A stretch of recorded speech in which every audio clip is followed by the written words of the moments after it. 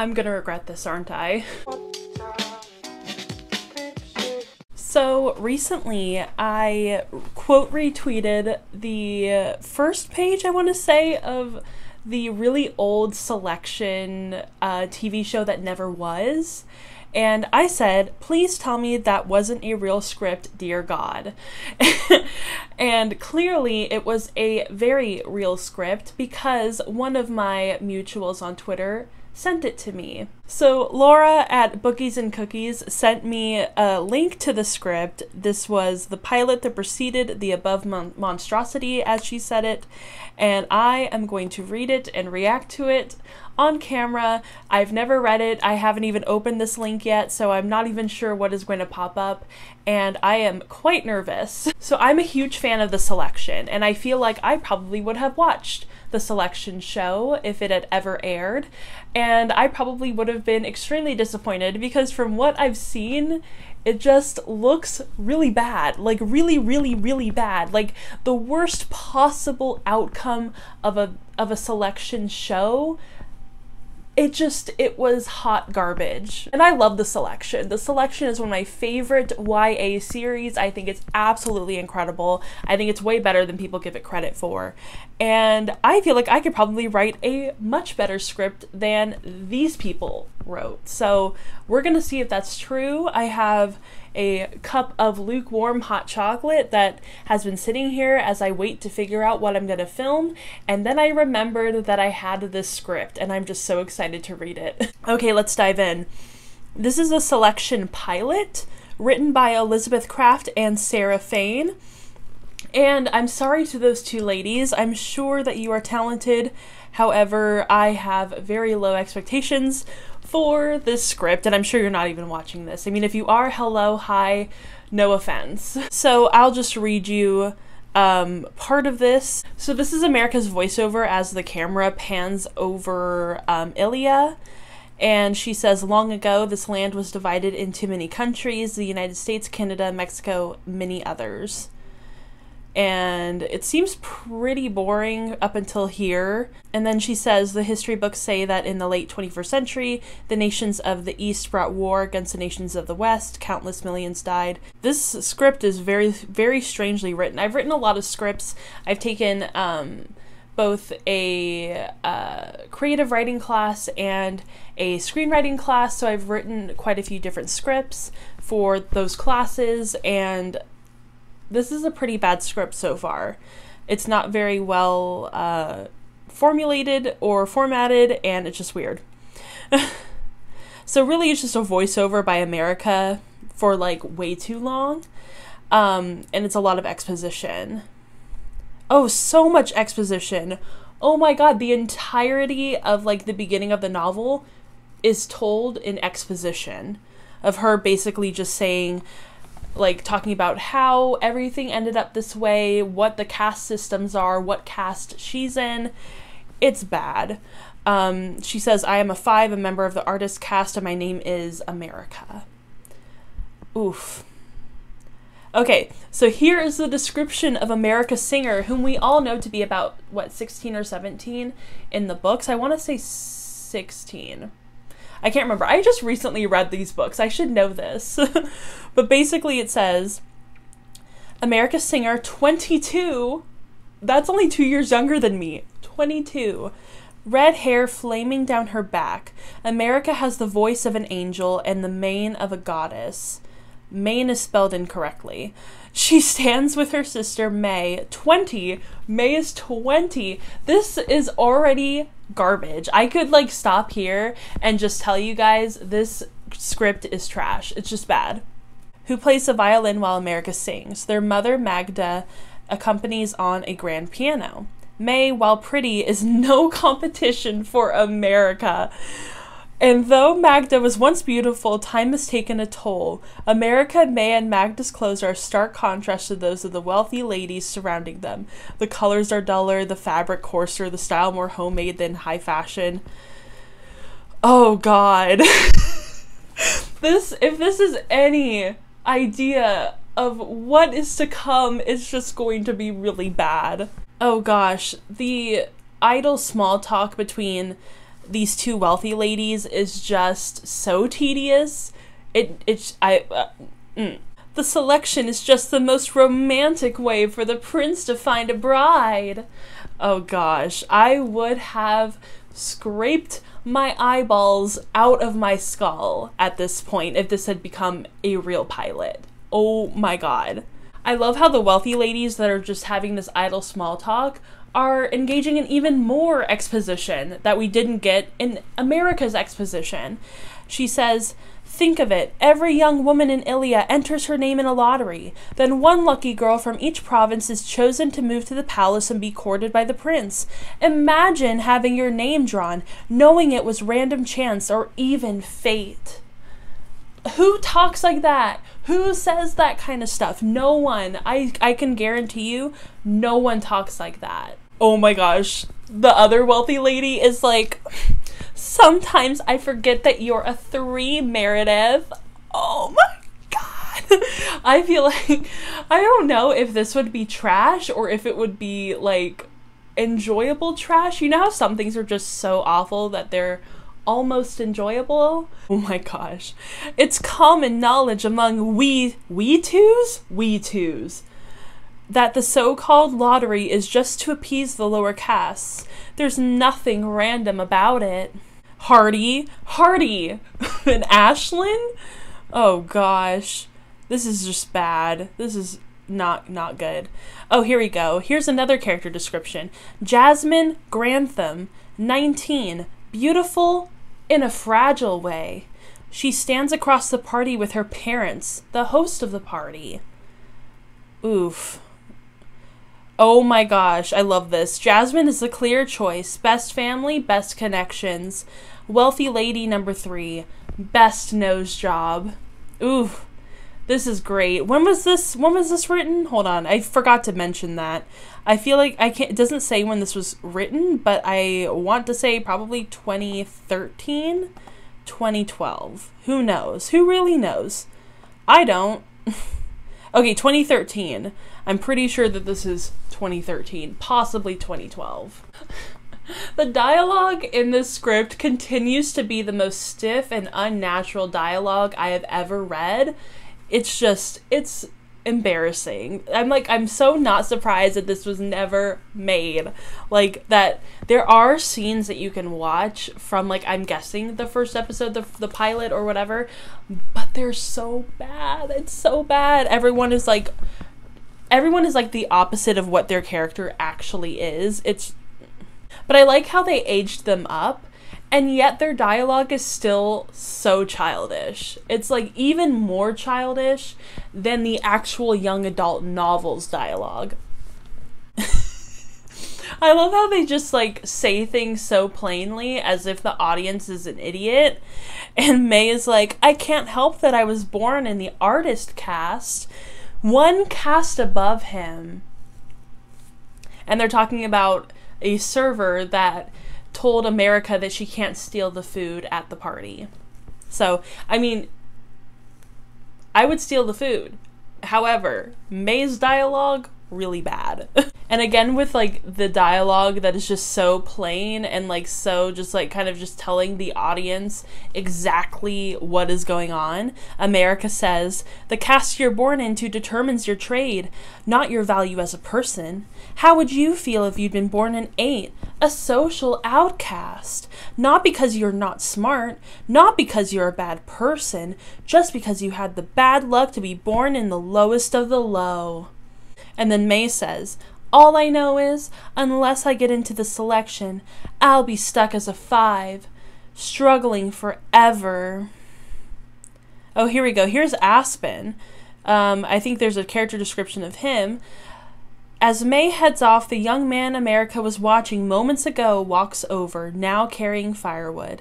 This young man is Aspen Leger, 25, a six. Aspen is strong, smart, and bears the burden of supporting his entire family, which is true. However, he's not 25. They've aged him up literally like eight years, maybe even more than that. I, no, eight years, right? Five plus three, eight.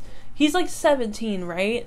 This is ridiculous. I really don't understand the need to age up the the characters. Like I get it. They probably hired like much older actors, so they're probably the actors were probably like 25 to maybe like 30. But like I like how this is one of the only shows that they ever were like, yeah, we should age them up. With like the selection is not nearly as like, you know, explicit as other books that have been adapted into TV have been like Gossip Girl. They were just like, yeah, let's just make them the ages that they are in the books. Why not? Who cares? They're sophomores in high school or whatever, freshmen, sophomores, I don't remember. But yeah, let's just keep the ages, even though, like, that should have probably been aged up a little bit. But no, the selection, one of the most tame young adult novels out there, we're gonna age it up eight years. It's, it's no big deal. Okay, it looks like we're finally getting some like King Clarkson, Queen Amberly, Prince Maxon sort of action. So King Clarkson is de- is described as being in his late 40s. Uh, Queen Amberly is in her 40s, and Prince Maxon is 25, handsome and regal. It looks like they're for. it looks like that while Gavril is uh, announcing the names of who's been chosen for the selection it seems like from the names that he's said that there aren't any of the girls that were mentioned in the books, which is a little weird. I don't know if that was intentional or if they just didn't care. I'm not sure. But America's name has been called, and it's very different from the books. As you know, like America really doesn't want to be in the selection, and so she kind of has to be persuaded by her boyfriend Aspen and her parents and her sister to uh, put her name in for the selection. And then she finally does, and she's like, I'm not going to be called. It's not going to be a big deal. But then her name does get called.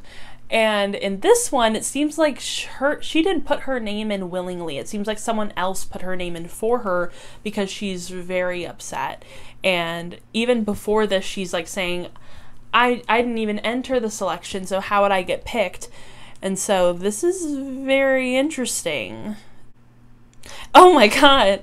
Okay, here's an interesting description. So, like in the books, um, after she gets selected, America does go up to the treehouse to talk with Aspen, and I'm pretty sure is that when they break up, I want to say, and she gives him the money that she saved. I want to I don't remember. I feel like that's what happens in the books. But that's kind of similar to what's happening in the script. And here's an interesting and slightly off-putting description. Uh, it says Aspen kisses her again. It's as if they're trying to devour each other. I hate that. I hate it. And I can picture it in my head, and it's awful. Oh! I just screamed because I'm pretty sure that there's a kind of sex scene in this, even though, as you know in the books, like the whole purity thing is kind of part of the world building of like you can't have sex before marriage or whatever. Um, and it's also in the show, and it says it's basically they're they're still up in the treehouse and America begins to undress and it says as America's nightdress falls to the floor, Aspen can't take it anymore. He kisses America's face, her neck, breath ragged, then ooh this is poorly written. um, and then Aspen says there there are other things we can do dot dot dot. Oh gosh. And then the description is as Aspen lips continue to travel the length of America's body and he melts out of frame. Ugh. Gosh. This is just not looking good. It it seems like America finds out that Aspen joins the army before she actually goes off to um, to Prince Maxon and the selection. So that's really interesting because she does not know that before going in the books. She finds out once she sees him at the palace and is like, oh, well, you're here. I feel like that's not a thing in the uh, books where soldiers aren't allowed to have wives or girlfriends or anything. I feel like that's not a thing. Hmm, I'm not sure. I love this. Okay, so now America's at home and she is going to be taken for the selection. And it says, reveal Sylvan Santos, 30s, gay, wearing a perfectly tailored jacket adorned with the royal emblem, sitting opposite Magdan and Mylan. Which I'm guessing Mylan is her dad? That's not his name in the books. That's weird. But I love that he that this guy is described as being 30 and gay. like 2012 was a weird time. Okay, so it seems like America has finally been taken and she's met another girl named Ashley. They're the only two on the train.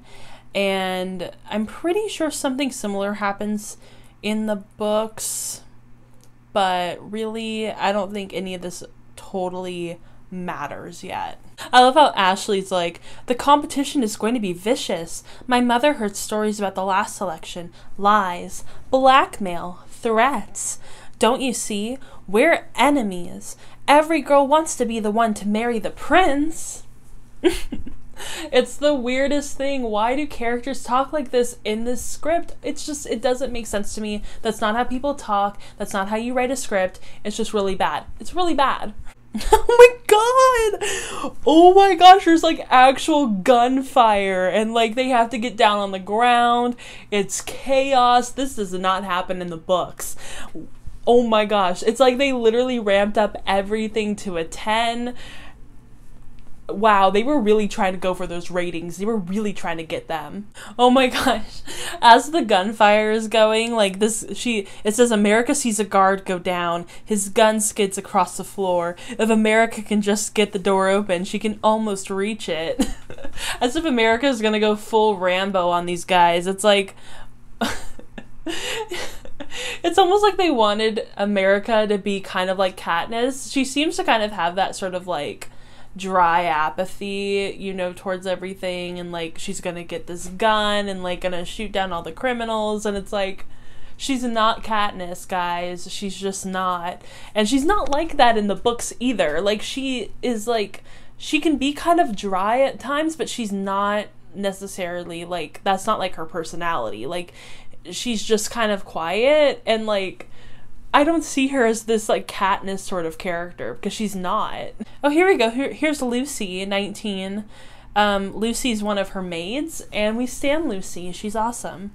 Okay, so America ends up getting knocked out by this can of gas, and she wakes up and she's at the palace and she meets Queen Amberly.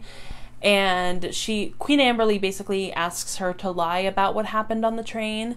And that doesn't happen in the books either, but it's kind of in the same vein of like, this is what it takes to be a queen, and we'll understand if you want to leave, but you have to keep this a secret. And America, for some reason, even though she's wanted to go this entire time, she didn't even decide, like, she didn't even make the choice to enter into the selection. She's still like, I'll go. This is great. I'm gonna stay. Like, that doesn't make any sense for the character that they've sort of started to create with this pilot. Like, America in the books actually like made the choice to join the selection and like put her name into the lottery and stuff like that.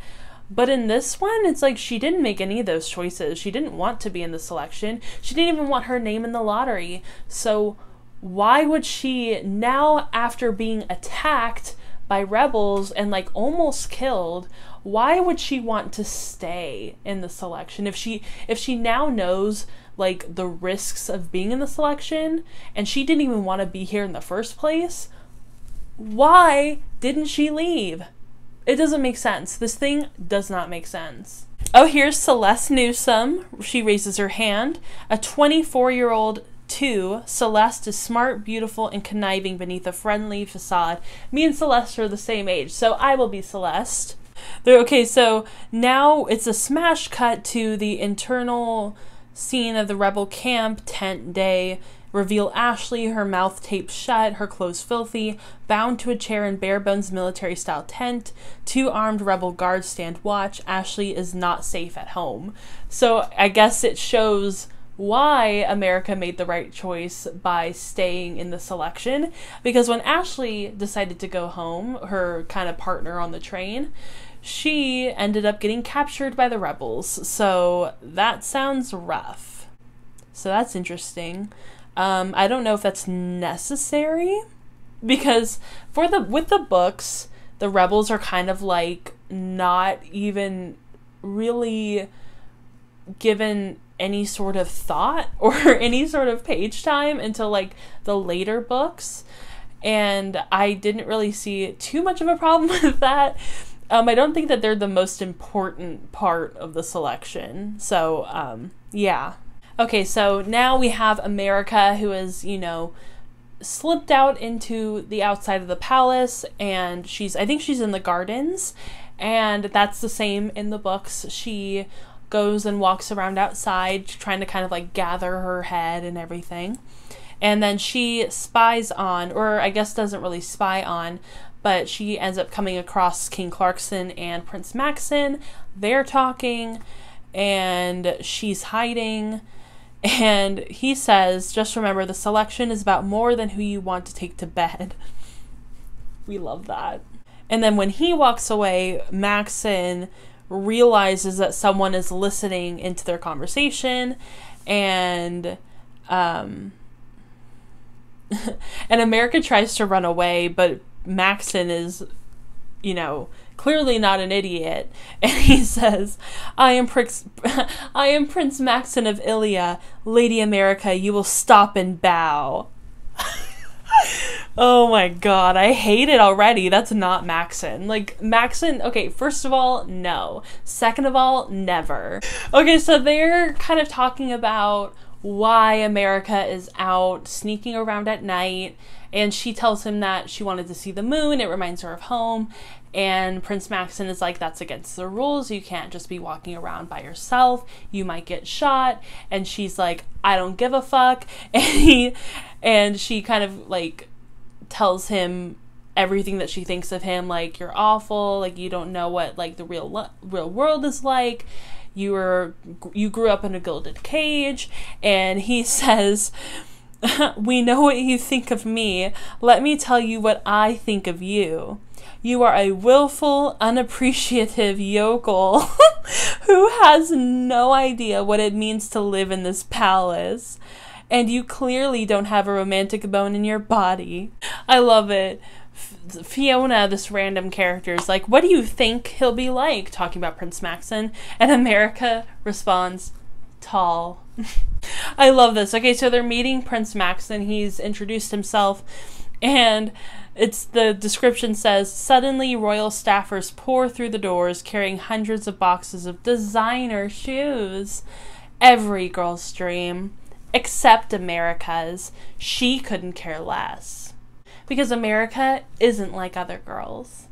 America and Maxon meet again and he pretends like he hasn't say- he hasn't met her yet and she apologizes and is like don't we have to talk now and he's like I don't really feel like it. See you later. I mean that's not what he says, but it's basically what he says. Huh, that's interesting. So there's a scene where Celeste comes to America's room and she's like, I'm really sorry about how I acted today. I think we should be friends. And America's like, okay, that's really weird, but sure. And so they go on this walk and Celeste is talking to America and basically is like, You really need this, right? And she says, We can't leave a decision this important to a man. With a little strategy, we can ensure that you and I make it to the final six, to the elite.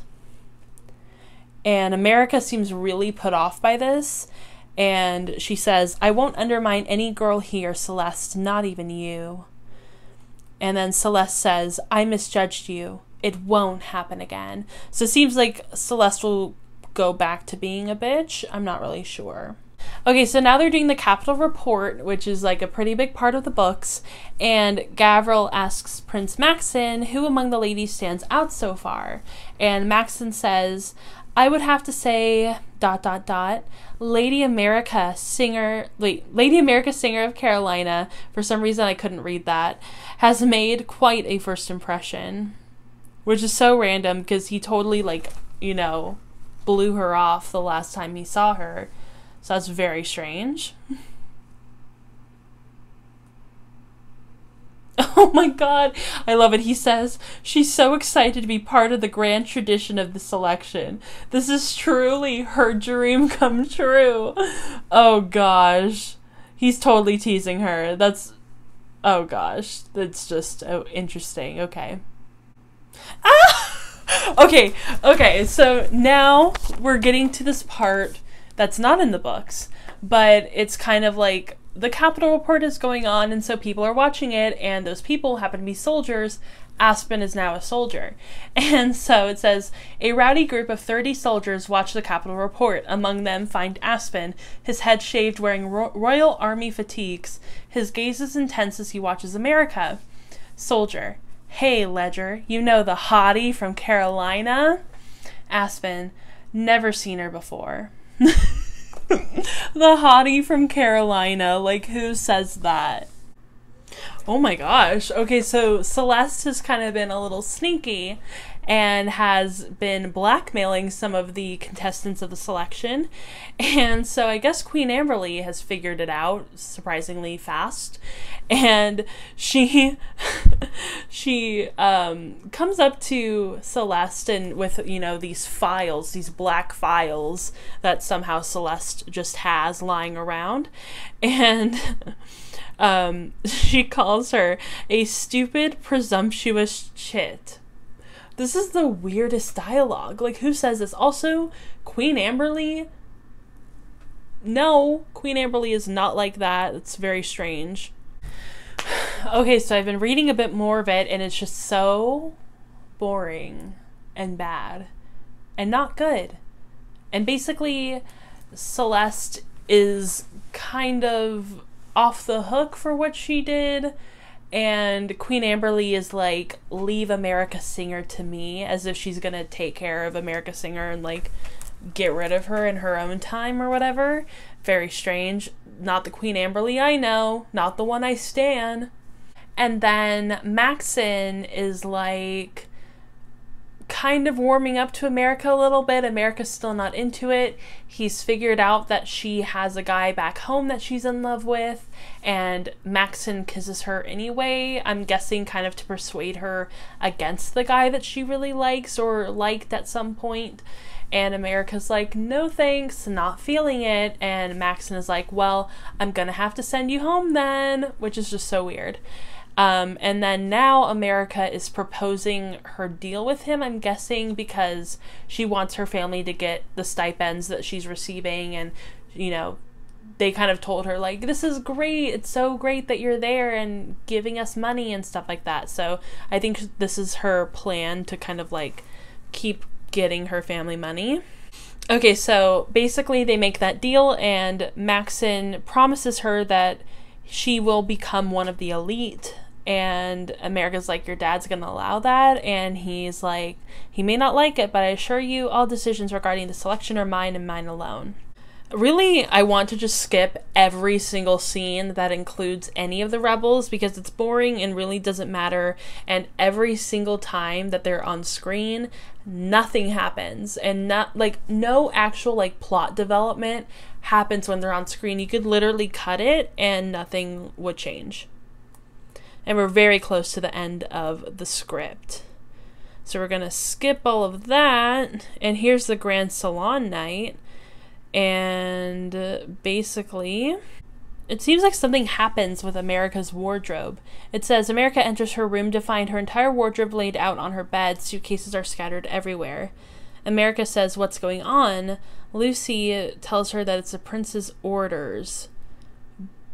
I'm guessing they're moving her to a different room. And that's all I can say. that's all I know. And that's basically the end of the pilot. We end off with uh, Queen Amberly telling these soldiers that, you know, they have a lot of work to do and it's very important and all that. And we end off with Aspen looking off into the distance. And that is the entire script for the pilot of the selection. And honestly, it was not as bad as I thought it would be, but it was still trash. from the videos that I've seen, which I'm guessing are from the second episode, like the episode after the pilot, I was expecting more like not cutting edge, but just like, you know, more explicit stuff. And we didn't really get that, which is fine with me. I don't really want any of that stuff, especially with the selection being like not like that in the books. And it was much more tame than I expected it to be, but it was also so poorly written. Just so bad. The dialogue is awful. The characterization is bad, and it's not, you know, anywhere close to the books. And the weird aging up of all the characters I know that this was kind of meant to be a CW show, but wow, it was bad. I hated it. It was awful. Um, please don't ever read it. It's just really bad. And I'm so glad that it was never made. I wish it was made into a TV show though, and I really wish that it would like stick to the book because I think it'd be a really great TV show, honestly and I think it'd be super interesting. I think a lot of people would like it. It's fun. People love sort of like bachelor type of shows and like dating shows. People love that stuff. I, I mean, people still love that stuff. So I feel like it'd do really well as a TV show, but it might just be too old to turn into a TV show at this point.